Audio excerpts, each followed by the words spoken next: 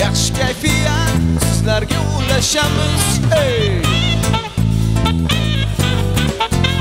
MTV show Bunlara tarıp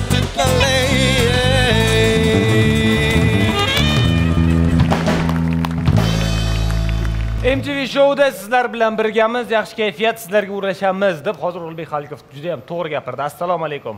assalomu alaykum aziz yurtdoshlar mirshakar ham juda ham to'g'ri gapirdilar haqiqatdan ham sizlarga faqatgina yaxshi kayfiyat tilab qolamiz va bugungi mtv show ko'rsatuvini navbatdagi sonini boshlaymiz Hozir boshlaymiz dedikda, har ko'rsatuvimiz boshida aytamiz aziz teletomoshabinlar, aziz teletomoshabinlar deb. Lekin mendan boshqa tomoshabinlar xafa bo'lishyapti. nega Yurtimizdan uzoqda internet orqali ko'radiganlar yozishyapti menga, bizani ham Ha. unutib qo'ymanglar deb. to'ppa to'g'ri Shuning uchun hurmatli YouTube tomoshabinlar, hurmatli mobil ilova tomoshabinlari, hurmatli teletomoshabinlar, bugungi dasturni juda ham katta qiziqish bilan ko'rishingizni so'rab qolamiz, chunki bugungi dasturimiz mehmoni Van Dam. haqiqatdan ham Haqiqatan ham Van Dam kelish kutilyapti. Shuning uchun boshladik MTV Show MTV kanalida. Marhamat. MTV show MTV show Whoa. MTV MTV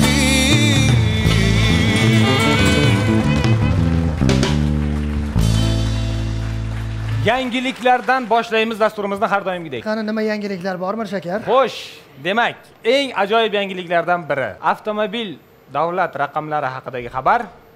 Chiroyli avtomobil raqamlari ana mana shuni eshitdik auksionlarda sotilish boshlanganidan xabaringiz bor. juda qiziqaman shunaqa narsalarga Juda ham qiziqasiz. Siz uchun xabar. Qarang, birinchi bo'lib, birinchi lot, birinchi raqam sotildi. 14-sentyabr kuni, joriy yil 14-sentyabr kuni 25 indeksli E070EA avtomobil raqami birinchi auksionda sotilgan raqam deb ro'yxatga ro'yxatdan o'tkazildi va uning narxi 7 million 563 ming 637 so'm 50 tiyin. boshi yigirma beshligi uchunmi Yo'q, o'rtasi 070 ligi uchun. ha.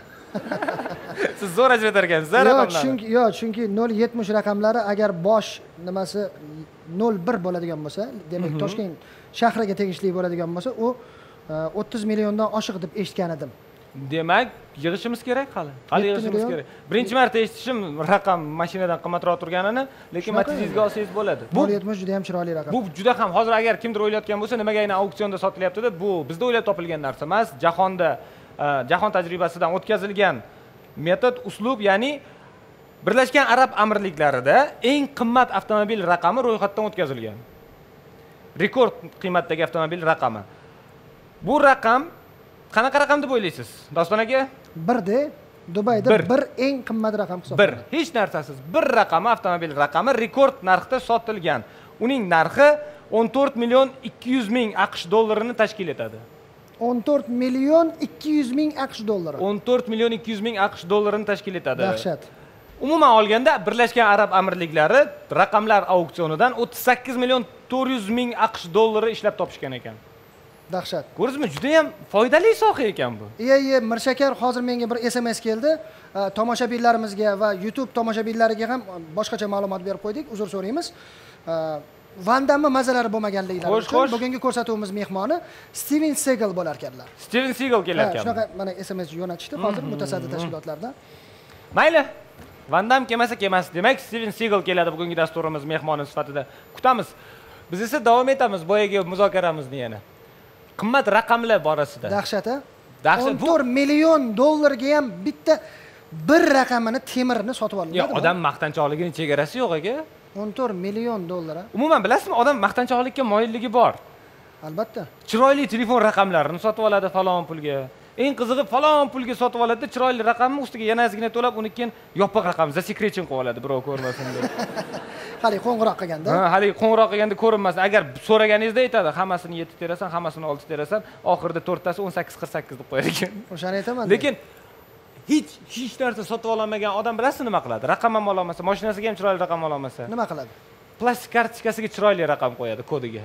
Kodiga? Ha, kodiga. to'rtta bir to'rtta ikki. To'rtta yetti. To'rtta yetti. chunki band emas qo'ysa bo'ladi. Ko'rganmisiz supermarketga kirsangiz sizdan oldingi odam kartasini beradida kodi nechi desa hammaga eshittirib aytadi. To'rtta yetti deb maqtandi ha ha nimasi bilan maqtanadi man shuni tushunmayman. Ho'p endi qo'yding qo'yding. yetti raqamlari birovga yoqadi ikki raqamlari birovga yoqadi uch raqamlari har xil raqam har xil. Nima deysiz endi? Maqtanchoqlik bor baribir. Lekin eng maqtanchoqlikni eng yuqori cho'qqisi bilasizmi nima? Nima svetoforda to'xtab turganingizda ho'p mashinalar keladi. O'zi yo'q ovozi bor hali. Bum bum qilib keladi muzikasi bilasizmi? Hali keyingi svetofordan ovoz kelyapti uni. Bum bum qilib. Man shunga e'tibor berganmanda agar mashina qanchalik arzon bo'lsa musiqa shunchalik balandda balandroq ichida. bo'ladi Ha.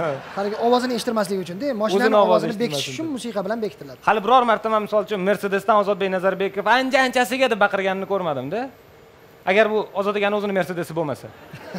Ozod akani o'zini mercedesi bo'lsa bo'lishi mumkin. To'g'ri. Nima bo'lganda ham agar ozginagina ajralib turay desangiz raqamlar bor auksionga qo'yilgan sotib olishingiz mumkin. Yana boshqa anaqalarimiz ham bormi? Boshqa xabarimiz bor. Boshqa xabarlarimiz bor. Sport haqidagi xabarimiz. Butun dunyo hakamlardan nolib noto'g'ri o'yin bo'ldi haqiqat bo'lmadi deb yurgan bir paytda har xil nohaqliklar bo'lgan o'yinlar bo'lsada ho'p hasanboy do'smatov bildingiz jahon chempionati finalida bizning nazarimizda yutgan bo'lsada yutuqni yutgan edi. Ha? maning uchun ham yutgan. Man uchun ham yutgan. Hozirgi kunda boshqa- yutgan. yutu- yutuqni kubaga berib yuborishdi. Shu masalada hasanboy do'smatov jurnalistlarga bergan intervyusida nima debdi? Nima debdi? Men aybni o'zimdan izlayapman. Kelasi safar kuchliroq ishlashga harakat qilamiz. Mana bu haqiqiy o'zbek o'zbek o'g'lonini gapi. To'ppa to'g'ri. Mana u senga kammi dedi. Man senga yalinmayman.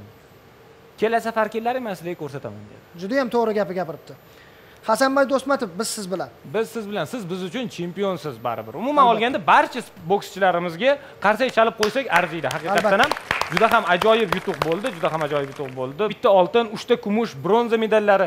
Bundan uch to'rt yil oldin biz orzu qilardik bittagina bo'lsa ham medalimiz bo'lishinida jahon chempionatida to'ppa to'g'ri albatta bu juda ham katta mehnat samarasi. Aziz teletomoshabinlar sport mavzusini davom etamiz va mtv show dasturining bugungi mehmonlari ham aynan sport sohasi vakillari diqqat bilan tomosha qilishingizni so'raymiz chunki bu sport turi ayni damlarda o'zbekistonda juda ham keng tarqalib boryapti. Juda ham qiziqarli ma'lumotlarga ega bo'lishingiz mumkin. Demak kutib oling mtv show dasturining bugungi mehmonlari. Tay boks bo'yicha osiyo chempioni ikki karra jahon chempioni jasur mirzamuhammedov hamda kik boks bo'yicha osiyo va jahon chempioni hasanxon baratov. Marhamat.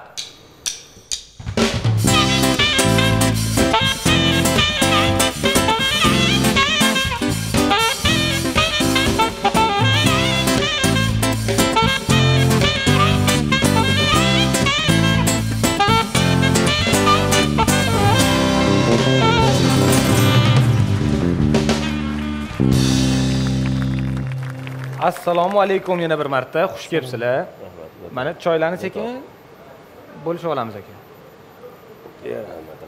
Aziz teletomoshabinlar bu yil birinchi marotaba o'zbekistonda yaqin kunlarda bo'lib o'tgan asian fight chempionati ishtirokchilari g'oliblari. Hozir butun boshli barcha masalalarni bizni qiziqtirgan savollarni so'raymiz ulardan birinchi bo'lib demak jasur aka hasanxon aka birinchi savolimiz keyin bu mavzuga qaytmaymiz nimaga vandam kelmadi?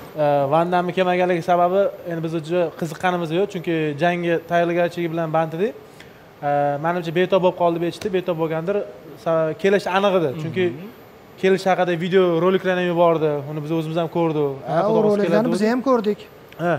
endi taqdir ekan kelolmadi betob bo'libdi. Issiqjon hammada bo'lib tursa kerak. To'g'ri to'g'ri. Demak albatta keyin kelasi safarlar agar nasib qilgan bo'lsa tashrif buyuradi chunki vandam o'zi ham juda ham istagan ekanlar tashrif ha buyurishni shunaqa. Endi shunaqa qiziqarli vaziyat bo'ldiki bu savol jasur akaga ham bersak bo'ladi. Nimaga stiven sigal kelmadi? Yo, endi Steven Seagal aslida keldi. Mana osh oshga Oshga keldi, mehmon qildik osh bilan. ha, Oshga bordi, keyin Barbiz klubiga bordi, keyin Instaga bordi. stevens igl ham kelmadimi musobaqaga? O'zbekistonga keldi lekin O'zbekistonga kelganini man ham ko'rdim. Ish- ishtirok etmadi musobaqada Musobaqada qatnasha olmadi. bo'ldi. Bu mavzuga nuqta qo'ydik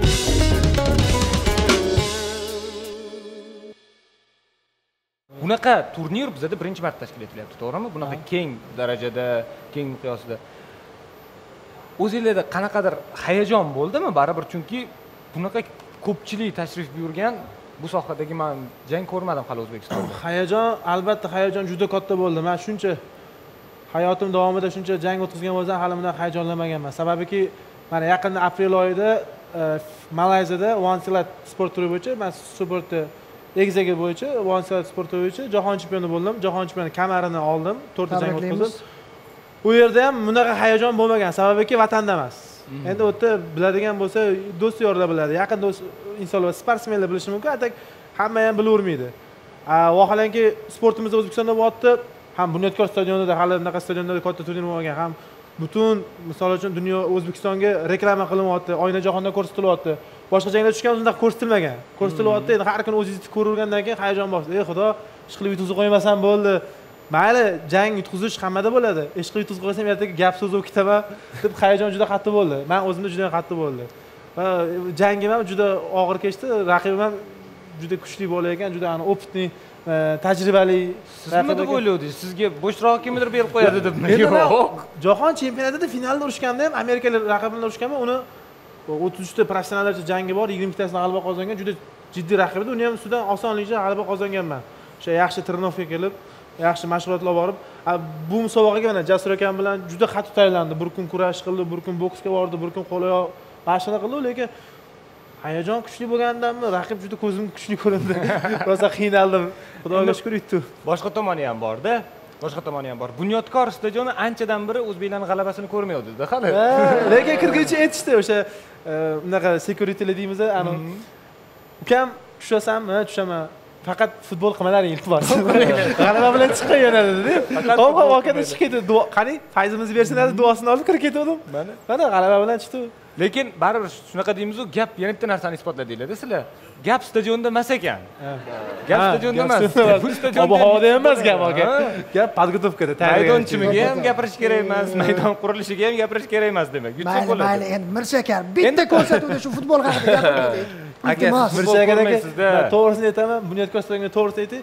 Hali kirmagandim lekin juda ham chiroyli qurilgan ekan Ajoyib man kirganda u- o'shani ham hayajoni bosdimi man u ismimni aytib chaqirilganda kirsam qarasam juda katta bir chet el stadionlarida qolishmaydigan даже o'tsa o'tadigan bir Hmm. bunyodkor stadioni ekan man juda bunaqa stadionimiz borligidan man tashqarisida ko'rganman ichga kirmagandim balki o'shani ham hayajoni bosgandir lekin o'shanga aytamizu bizada bunyodkor bunyodkor stadioni bor deydi Chilonzorda.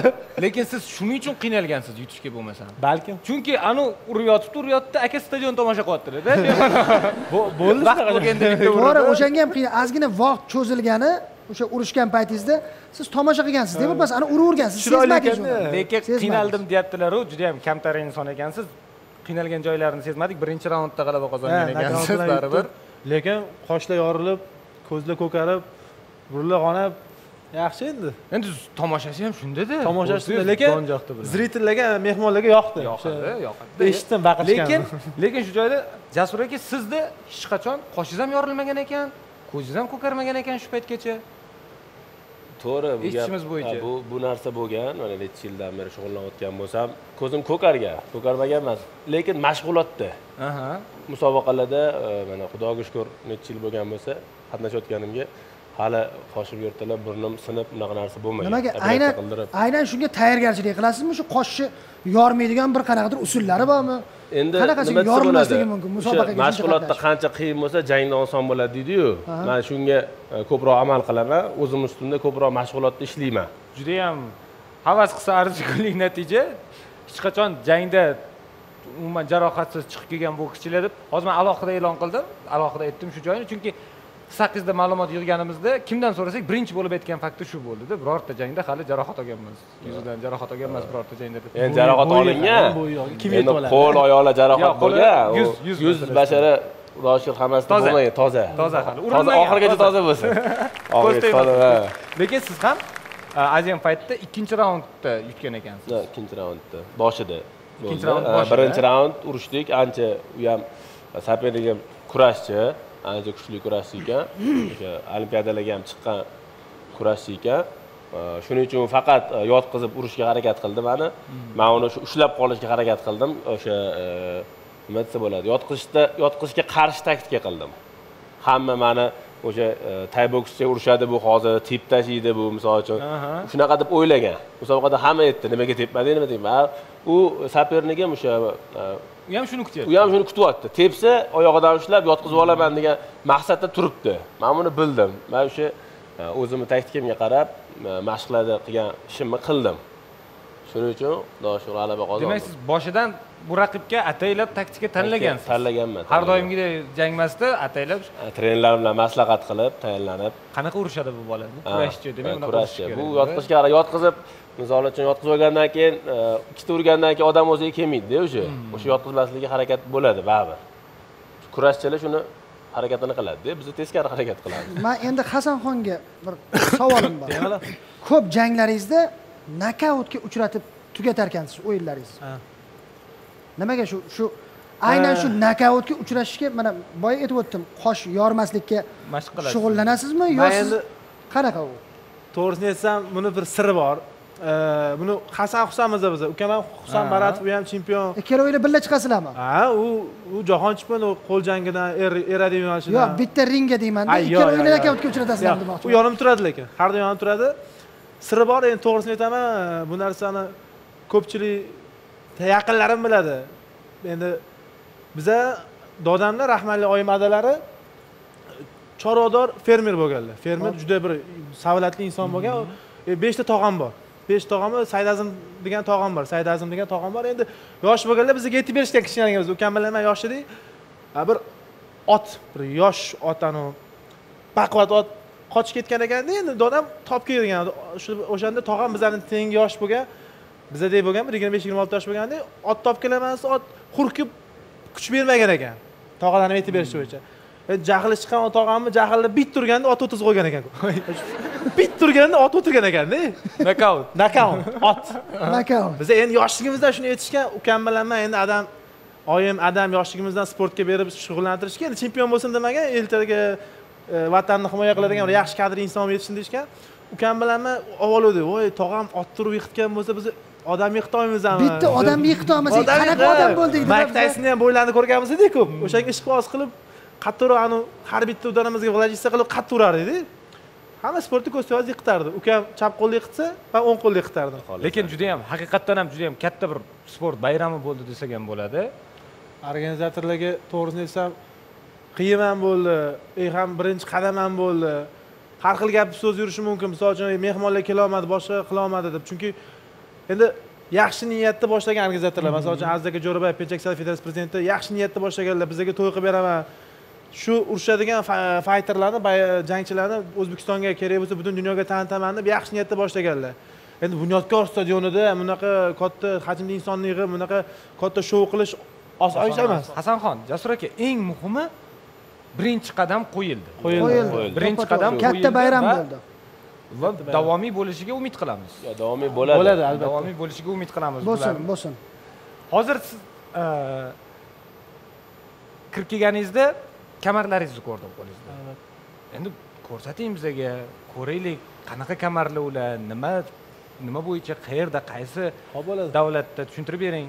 Albatta. Demak marhamat kamarlarni uzatib yuborsanglar. Kamarlar ham juda ham katta bo'lar ekan go'daklarga yarasha ekanda xo'sh bering bittasini man ushlab turaman. Kichikroq umrimda birinchi marta bunaqangi yengil tarzda kamar qo'lga kiritishim. Ya, bunaqa bunaqasiga ekan xo'sh. Tushuntirib bersam ikki ming o'n uchinchi yilda ikki ming o'n uchinchi yilda aykido kombatda o'sha kadin yo'nalishi bo'yicha o'shanda e, sakson bir kilo vaznda tushib bu kamarni interkontinental kamarni qo'lga kiritgandim undan keyin boshqa turnirlarda tushdim lekin bunaqa professionalniy jangga kamarli jangga tushmagandim. Bu kamarga juda katta mehnat ketgan. Bu uchun nimaga mehnat manga bunisini berib yuborganingizdan ham tushundim bunisiga katta mehnat ketgan. Bu kamarni musobaqasida jahon chempionati world chempion one series yo'nalishi bu musobaqaga qo'shilish tushish uchun biza o'zi ikki yil kutdik zaявка berilib nomimiz bu musobaqaga ketayotgandi lekin ikki yil kutdik ishtirokchiga aylanish ishtirokchiga aylanish uchun chunki hammani ham chaqirilmasdi. A, va borib misol uchun to'rtta jang o'tkazdim u yerda. Masalan misr indoneziya eronlik va amerikalik raqiblarni yutdim. Bir bir yilcha qatnadim malayziyaga. Malayziya shahri kuala shahrida bo'ldi. Birinchi borganda bir kunni o'zida ikkita jang o'tkazdik keyingisi orada uch oydan keyin bo'ldi unda o'sha judayam kuchli raqib edi eronlik raqibim. Juda ko'p jang o'tkazgan man qo'rqib turdim to'g'ri yutqizsam kerak degandim bordi oyimni duosini olganmizda uyda uydagilarni duosini vatan duosini olganmizda endi niyat qilib borganmiz chempion bo'lamiz xudo xohlasa deb endi raqiblar oson raqib emas hammasi kuchli raqib. Taroz mahalida e, kamarlarni olib chiqib ko'rsatishdi va tushuntirishdi.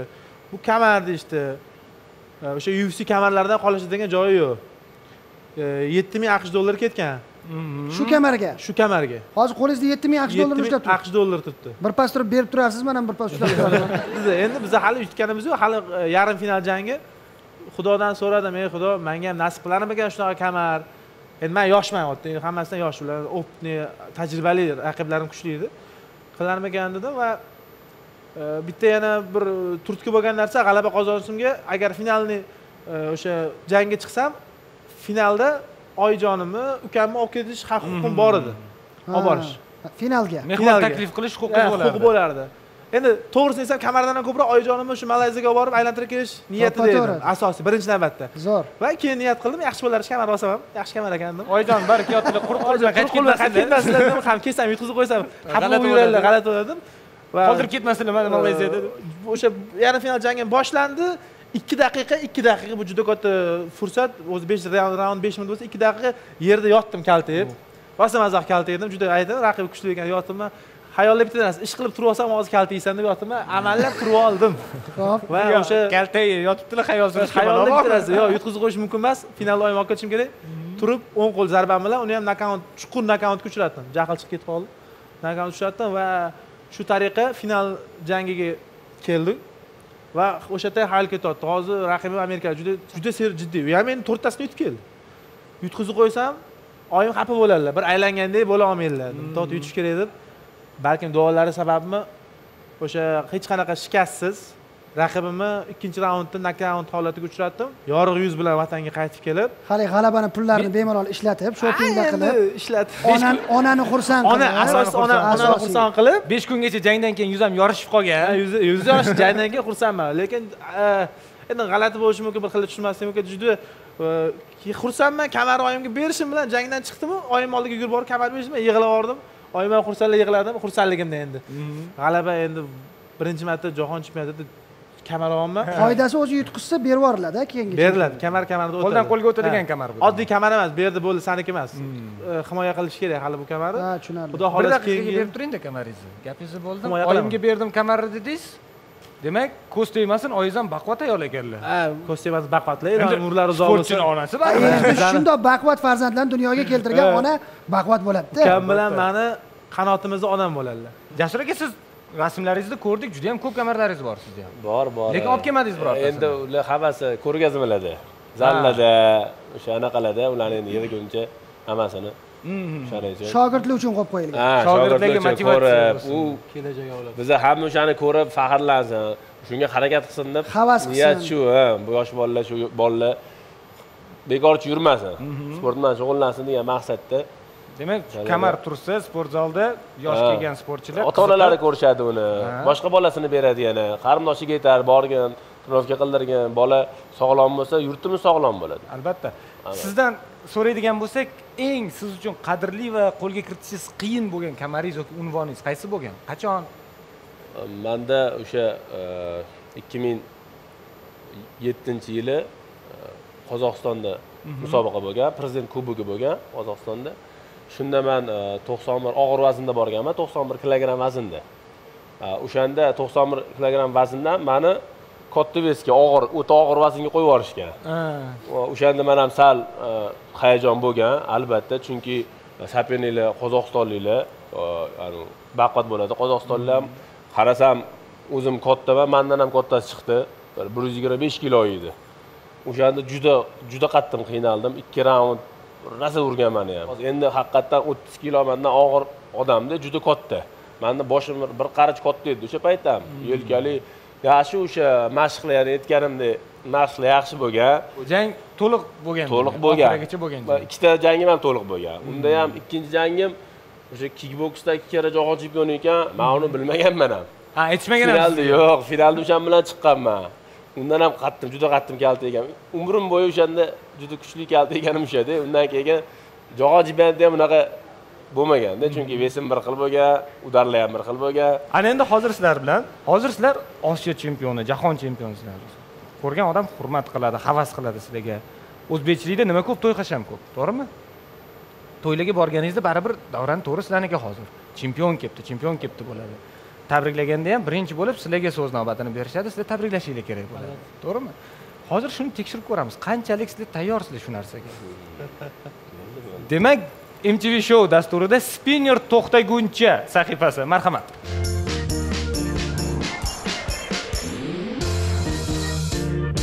Demak aziz tele tomoshabinlar biz spinner to'xtaguncha sahifasini boshlaymiz. Sahifaning bugungi mavzusi chempion tabrigi. Man spinnerni aylantiraman sizlar spinner to'xtaguncha to'xtamasdan tabriklashinglar kerak bo'ladi. Agar tutilib qolsangiz to'xtab qolsangiz demak tomog'ingiz qurib qolgan bo'ladi. Tomoqni ho'llab olamiz. Oxirigacha ichib keyin spinner boshqatdan aylantirib boshqatdan boshlaymiz tabrikni. To'xtash kerak emas. To'xtash kerak emas. Har bitta ishtirokchiga uch stakandan suv bor. To suv tugaguncha yoki spinner to'xtaguncha o'ynaymiz. Mana. Tushunarli a demak yetmasa chelakni olib chiqqansizlar yetmasa chelakni olib chiqib qo'yamiz. Olib chiqamiz. Ana endi ana endi yaxshi muhtaram mehmonlar to'yxona ahli bugungi to'yimizda biz bilan birga mana shunday quvonchli lahzalarni baham ko'rayotgan juda ham hurmatli mehmonlarimiz bor. Hozir tabrik navbatini chempion osiyo hamda jahon chempioni hasanxonga beramiz navbatni. Marhamat. Kelin kuyovni ismi sanjar bilan nargiza nargizami boshladik. Mana bugun do'stimiz sanjarbek va nargizaxonni nikoh to'yi bilan tabriklagani kelganimiz ikki yoshga baxt e, umr uzoq umr baxtli saodatli hayot kelajakda farzandlar va o'sha farzandlariga bosh bo'lishsin xudo xohlasa. E, bunaqa to'ylar vatanimizda ko'payaversin va albatta e, ota onasini sog'ligiga salomatligiga har doim sog' salomat bo'lib yurib e, har doim xizmatida bo'lib? E, kelinimiz nargizaxon qaynonasini xizmatida bo'lib har doim aytganlarini qilib kuyovimiz ham o'sha ota onasini aytganidan chiqmasdan o'sha baxtli hayot kechirishni tilab qolgan holda hech qachon g'am ko'rishmasin eng yomon kuni shunaqa Bo'ldi. Bo'ldi qoyil gap bo'lishi mumkin emas gap bo'lishi mumkin emas demak haqiqatdan ham sizni ancha muncha to'ylarga chaqirib tabrik eshitishgan ekan men sizni man o'yladim qattiqroq aylantirib yuborsam bo'lar ekan deb endigi tabrik uchun so'z yana bir chempion mehmonimiz jasurbekka marhamat boshladik assalomu alaykum. Shu to'yxonaga yig'ilgan barcha tanish bilishlar oshna og'aynilar qarindoshlar mana bugun sanjar do'stimizni to'yiga yig'ilgan ekanmiz. Bularga e, yaxshi tilaklarimiz hammasi shularga bugun. E, bularni e, qo'ja qarib tinchlik xotirjamlik. Bularga bularni mana bitta narsani ta'kidlab o'tmoqchiman. Bular mana uch yil to'rt yildan beri birga bir birligini hurmat qilib bir anaqa qilib yurishadi. Voy to'xtab qoldingiz aka. Yo shunga e, yo yo to'xtang to'xtang to'xtab qoldingiz hozir. To'xtamadi be adashtir- hozir bizga qarab to'xtab qoldingiz aka. adashtirmay adashtirmay. To'xtab qoldilarmi yo'q mana haqiqiy? man bilmay yo qoldim lekin. to'xtamadilar sudya boru sudya. To'xtamadilar deyaptilar To'xtamadilar, to'xtamadi. To'xtama- Xo'p, davom et.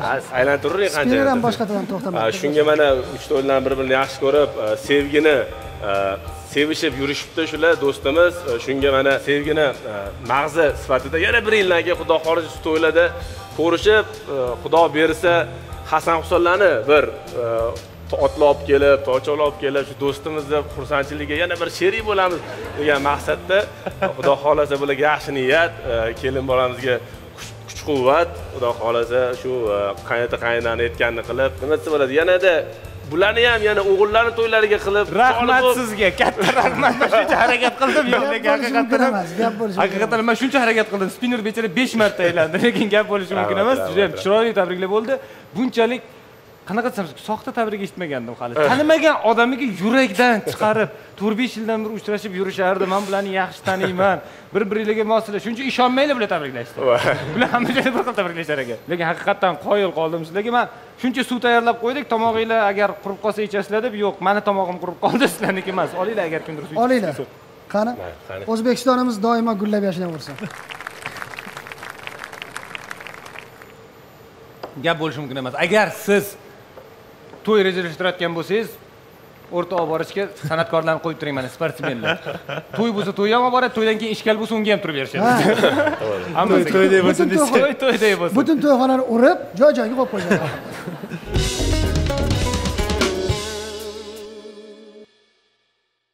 Aziz yurtdoshlar bugungi mtv show ko'rsatuvida chempionlarimiz bilan juda yam chiroyli o'yinlar juda yam chiroyli suhbat qurdik. Endi har narsani boshi bo'lganidek oxiri ham bo'ladi vaqt oliy hakam ko'rsatuvimiz o'z yakuniga yetib qoldi a yetish arafasida. Hozir maqola aytdingiz mana bitta maqola aytsam maylimi? Ayting. Iste'dodli odam har sohada iste'dodli deyishadida Albatta. balki ko'rsatuv so'ngida jonli ijroda bitta qo'shiq ham sportsmenlarimiz Ha, yo'q. bunaqasi bo'lmaydi yo'q tagiga ketamiz tabrik faqat. Qo'shiq tabrik yo'q. Yo'q shunga ham katta rahmat sizlarga. Juda ham maroqli suhbat bo'ldi. Demak aziz teletomoshabinlar bugungi dasturimiz mehmonlari osiyo hamda jahon chempionlari jasur mirzamuhammedov hamda hasanxon baratovlar bo'lishdi. Sizlarga katta rahmat. Keyingi dasturlarimizda yana kutib qolamiz yangi yutuqlar salomat bo'linglar. Rahmat. Xush kelibsizlar. Aziz yurtdoshlar har galgidek biz sizlar bilan xayrlashmaymiz. Aksincha keyingi ko'rsatuvlarda ko'rishguncha deb qolamiz. Sog' bo'linglar. Marhamat. Marhamat.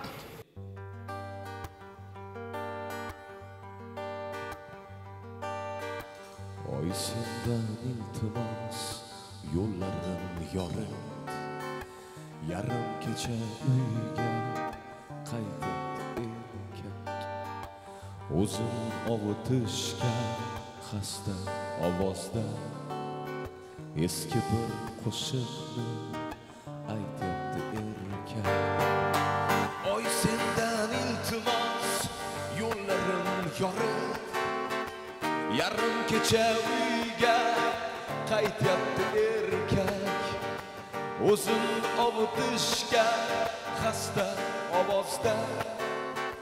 Eski bir qo'shiq aytyapti erkak Sevganiga gullar olib berolmay. Qadoq qo'llarini urar devorga. Cho'ntagiga puldan solib qo'y xayol. U qiz tegmasdan boshqa birovga cho'ntagiga puldan solib qo'y hayot u qiz tegmasdan boshqa birovga oy sendan iltimos yo'llarim yorug' Yarim kecha uyga erkak O'zim ovutishga xasta ovozda Eski bir qo'shiqni aytyapti erkak Yomg'ir bo'lsa nima, qor bo'lsa nima Kasal bo'lsa nima, sog' bo'lsa nima Yomg'ir bo'lsa nima, qor bo'lsa nima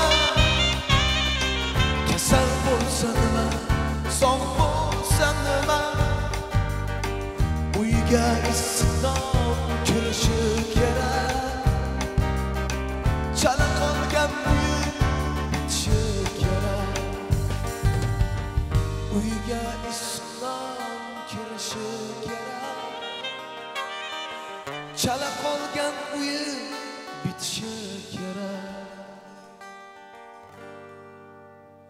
oy sendan iltimos yo'llarim yorug' yarim kecha uyga qaytyapti erkak o'zin ovutishga xasta ovozda eski bir qo'shiqni aytyapti erkak Oy sendan iltimos yo'llarim yorug' Yarim kecha uyga qaytib erkak o'zimni ovutishga xasta ovozda Eski bir qo'shiqni